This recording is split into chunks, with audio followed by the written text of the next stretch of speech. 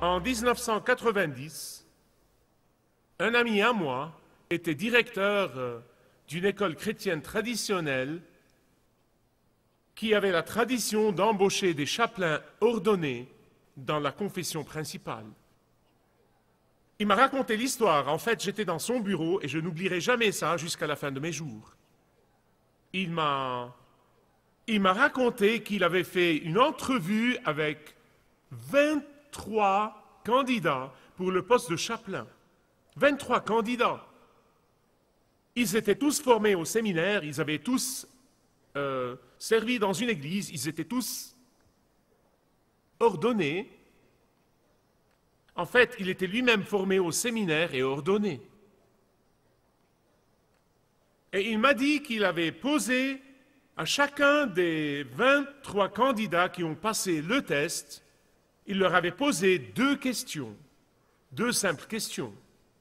Question numéro un, est-ce que le bébé de la crèche était Dieu de Dieu même? Oui ou non?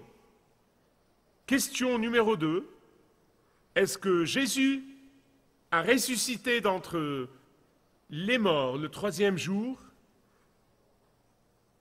Il leur avait demandé de répondre par un oui ou un non. Mais personne n'a répondu par un oui ou un non, personne. Ils ont tous essayé de l'entraîner dans une discussion. Eh bien, vraiment, ça dépend de ce que tu veux dire par euh, Dieu. Et n'est-ce pas que nous avons tous quelque chose de divin en nous? Et tout dépend de ce que tu veux dire par ressusciter d'entre les morts. N'est-ce pas que nous ressuscitons tous d'entre les morts? C'est pourquoi ceux qui ont le don du discernement doivent l'exercer toujours avec diligence et de toute urgence. Ceux qui ont reçu le don du discernement doivent le prendre au sérieux aujourd'hui plus que jamais auparavant dans notre vie.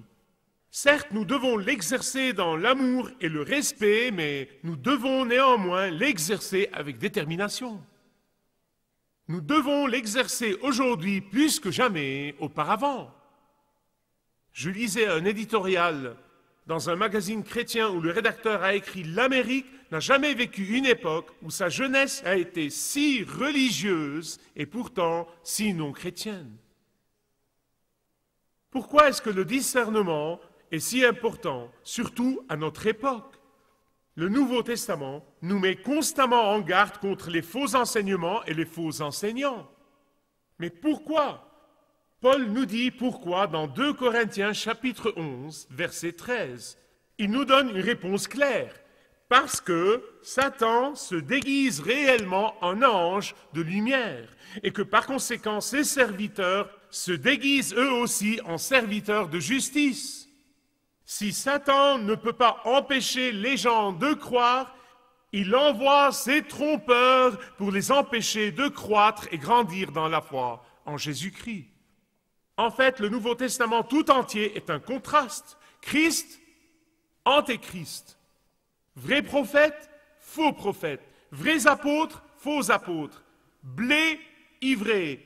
Brebis, loup en habit de brebis. Le Saint-Esprit, les mauvais esprits. Les bons anges et les démons.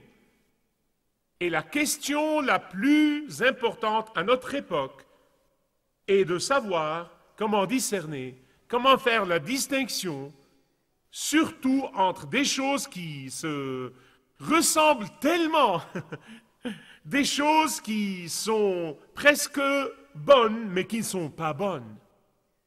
Et vous vous demandez, mais où commence le discernement? Écoutez avec soin.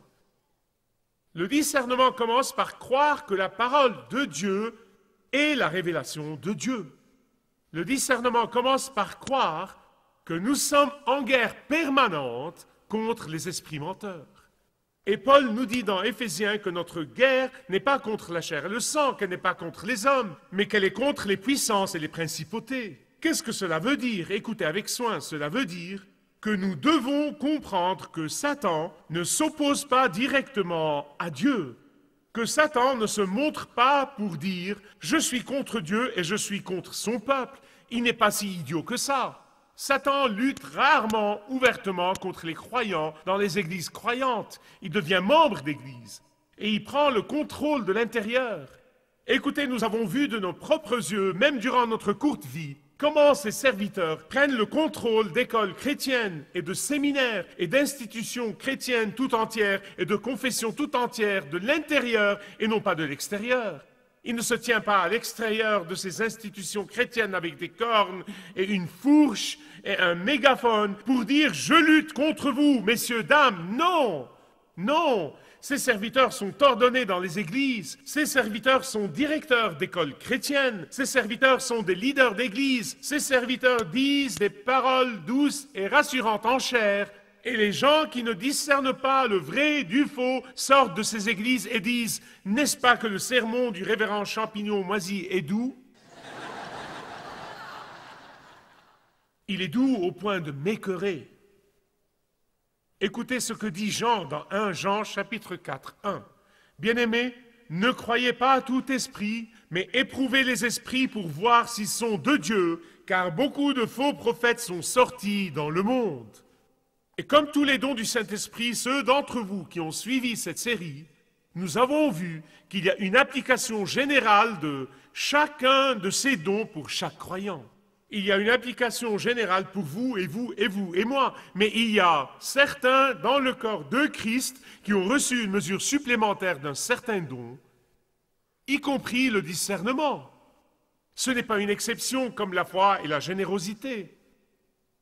Le discernement est une qualité que tous les croyants devraient cultiver. Mais la parole de Dieu nous dit que le Saint-Esprit donne à certains dans le corps de Christ une mesure supplémentaire de ce don. Vous voyez, la personne qui a le don du discernement est capable de discerner très rapidement la vérité du mensonge. Même si le mensonge est bien déguisé et dissimulé et qu'il a l'aspect de la vérité, ceux qui ont le don du discernement sont capables de démasquer immédiatement Satan et ses ruses. Ceux qui ont le don du discernement sont capables de reconnaître un faux enseignant avant que les autres ne voient sa fausseté. Mais ceux qui ont le don du discernement n'opèrent pas sur la base de, écoutez-moi, ceux qui ont ce don n'opèrent pas par émotion, par sentimentalité ou par amour de symbole. Chaque fois que je prenais une décision basée sur mes émotions, je loupais. Mais chaque fois que je prends une décision basée sur les principes de la parole de Dieu, Dieu la bénit. J'en témoigne, mes bien-aimés. Ceux qui ont le don du discernement sont capables d'écouter un sermon et de détecter immédiatement le mensonge subtil. Ils sont capables de lire un livre et de détecter immédiatement le manque de vérité dans ce livre. Mais il s'agit de savoir comment pouvons-nous exercer le don du discernement en comparant ce que dit l'enseignant, pasteur, avec la parole de Dieu, en comparant un livre que vous venez de lire avec la Bible. si c'est contraire à la parole de Dieu, si c'est contradictoire avec la parole de Dieu, c'est faux. Ce n'est pas bon en partie. c'est faux. Jetez-le. Car bon en partie mène au compromis. Et une des choses que j'ai apprises après beaucoup d'années de faire des erreurs, c'est que beaucoup de faux frères et de fausses sœurs pratique ce que la Bible appelle le péché de la flatterie. Vous avez compris? La flatterie est un péché. Ne le pratiquez pas. Ne vous faites pas avoir par les autres qui le pratiquent à votre égard. Il y a une grande différence quand un frère sincère ou une sœur dans le Christ vous dit un mot d'encouragement. D'après mon expérience, ceux qui venaient me flatter d'une façon incroyable sont les mêmes qui, qui ont été immédiatement offensés quand j'ai prêché quelque chose qu'ils n'ont pas aimé. Quand ils ont trouvé que j'étais intransigeant sur la vérité de la parole de Dieu, ils se sont évaporés. Je pense à un incident dans la Bible et je ne peux pas m'empêcher de penser au discernement chaque fois que je le lis. C'est dans Acte 16. Si vous avez vos Bibles, ouvrez-les, s'il vous plaît. Car Satan a fait exactement ça. Il s'est servi de quelqu'un qui avait le péché de la flatterie avec l'apôtre Paul. Voilà. Paul et son équipe qui vont à une réunion de prière. Vous avez compris? Une réunion de prière. Maintenant, je vous assure, la seule chose à laquelle le diable ne veut pas que vous alliez, c'est la réunion de prière.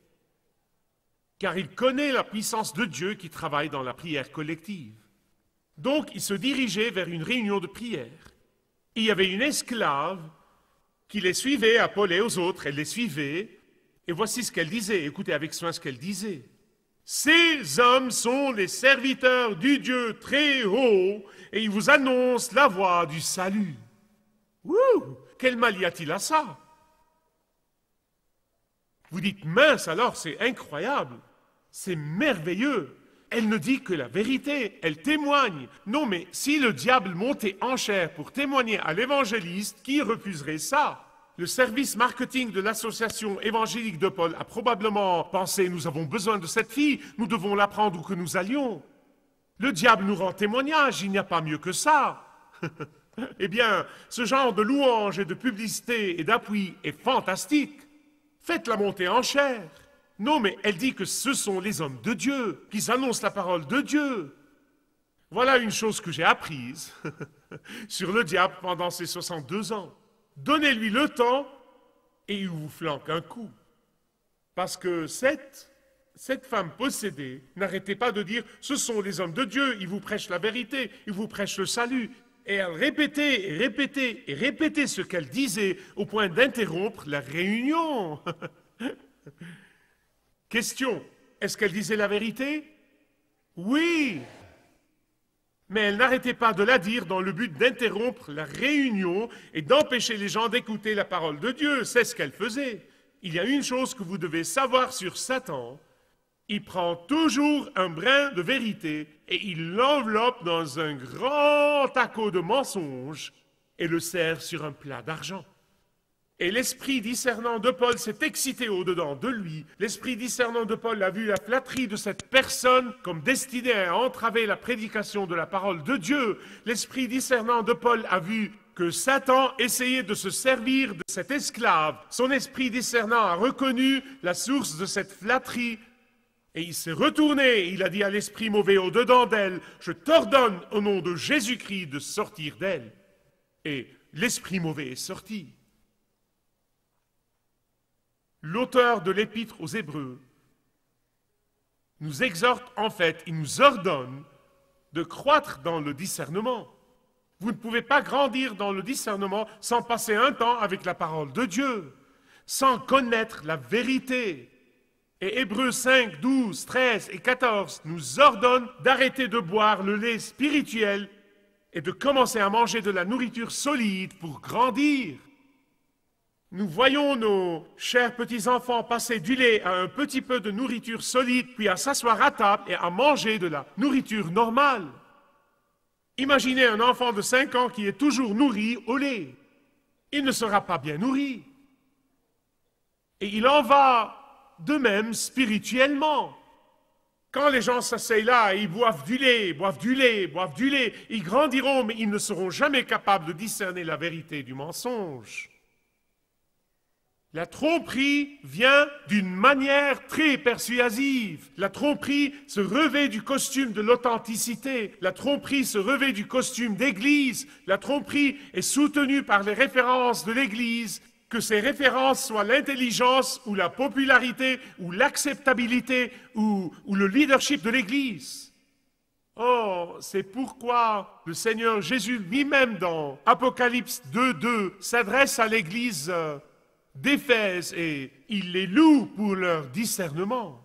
Dans Acte 17, 11, la Bible loue les Béréens pour le temps qu'ils passent à comparer ce qu'ils ont entendu avec la parole de Dieu. Et l'apôtre Paul lui-même dit aux Galates, il dit, si nous-mêmes ou quelqu'un d'autre vous annonce un autre évangile, qu'il soit maudit. 2 Jean 10 dit, si quelqu'un vient chez vous avec une fausse doctrine, fermez-lui votre porte. Ce n'est pas tolérant, n'est-ce pas? Ça, alors, ça va à l'encontre de l'évangile de tolérance de notre culture, n'est-ce pas?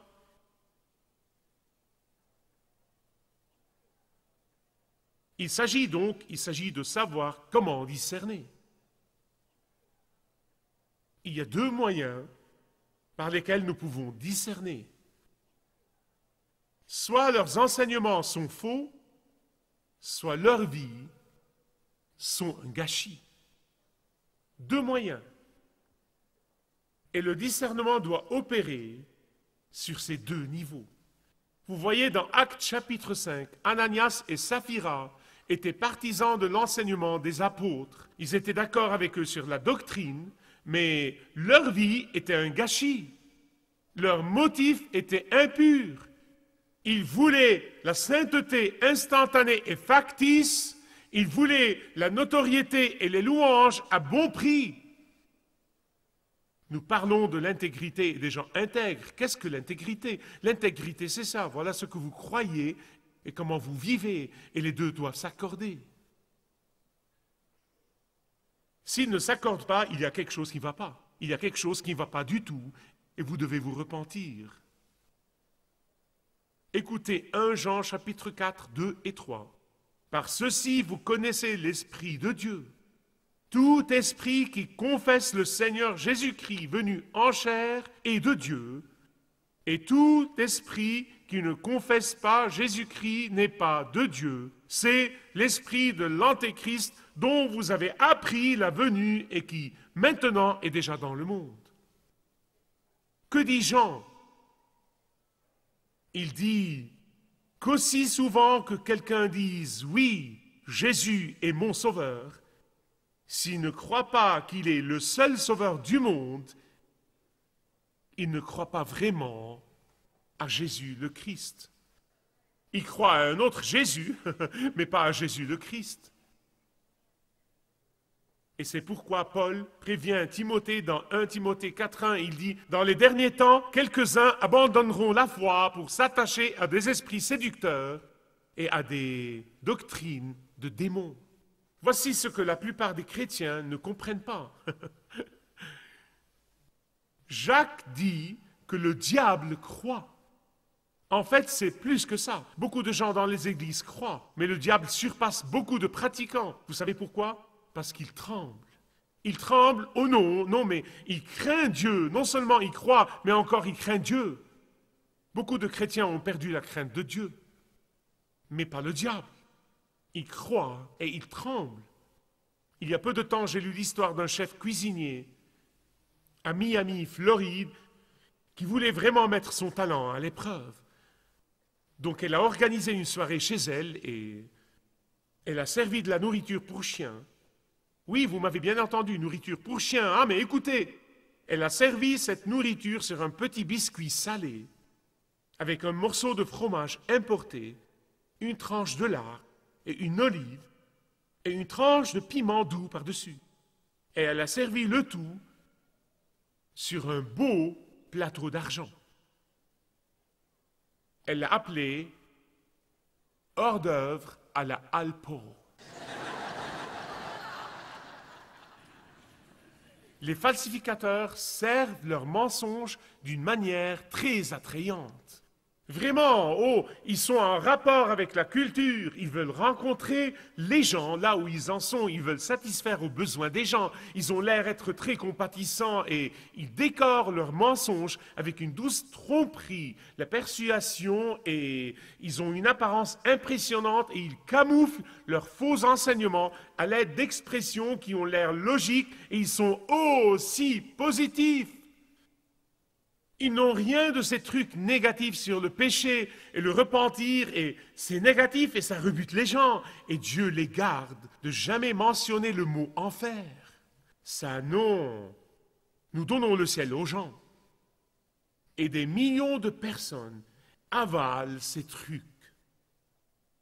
Hors d'œuvre à la Alpo.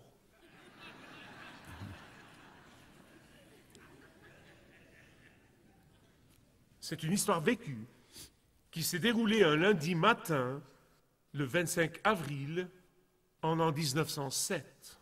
Les résidents de Londres allaient au travail le matin et ils ont vu leur beau City Temple profané avec du graffiti.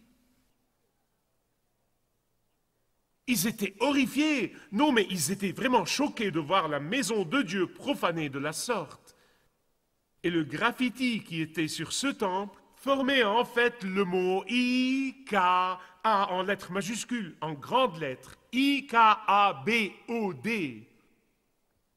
Les premières pages des journaux du soir avaient des photos du graffiti de ce bel édifice.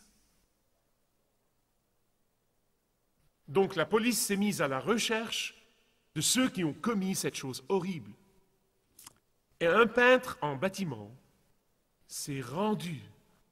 Il a dit, c'est moi qui a fait ça. Et le juge lui a demandé, il lui a dit, jeune homme, pourquoi pourquoi as-tu commis une telle profanation? L'homme lui dit, Eh bien, le docteur Parker me l'a dit. Il m'a dit de le faire. Le docteur Joseph Parker était le fondateur du City Temple, un grand prédicateur de la Bible, mais il était décédé depuis des années. Le juge lui dit, Comment il t'a dit de le faire alors qu'il est mort depuis des années? Le simple peintre, le peintre en bâtiment, a commencé à expliquer en toute simplicité il lui a dit, Votre honneur, je suis devenu chrétien sous le ministère du docteur Joseph Parker. Et je venais à l'église de façon régulière. Je l'ai entendu prêcher plusieurs fois.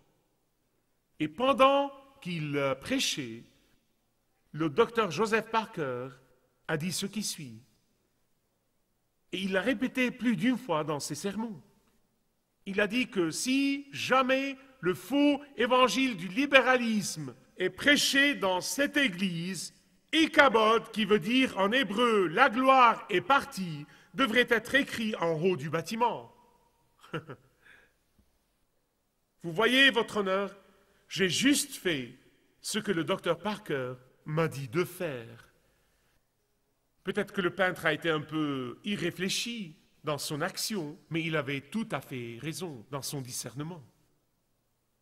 Par la suite, beaucoup de gens sont venus à la cour pour témoigner que le docteur Parker avait en effet dit ces mots bien des fois en chair et que son successeur rabaisse l'évangile et la croyance dans la Bible comme étant enfantin et quelque chose dont il devrait se débarrasser. Cet homme qui a succédé à Joseph Parker, décrivait le pardon des péchés par la mort du Seigneur Jésus-Christ sur la croix comme étant une religion d'abattoir.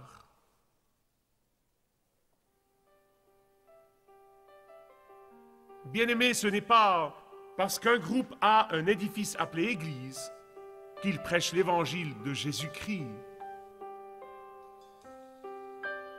Mais bien aimé, pour discerner le vrai du faux, nous avons besoin de discernement. Et je rends grâce à Dieu tous les jours pour ceux dans ce corps qui ont reçu le don du discernement, que Dieu multiplie leurs tribus. Si vous désirez connaître Dieu d'une manière personnelle, demandez le livret Retrouvez la joie que vous avez toujours désirée. Et vous pourrez découvrir l'amour de Dieu pour vous et apprendre comment expérimenter son pardon.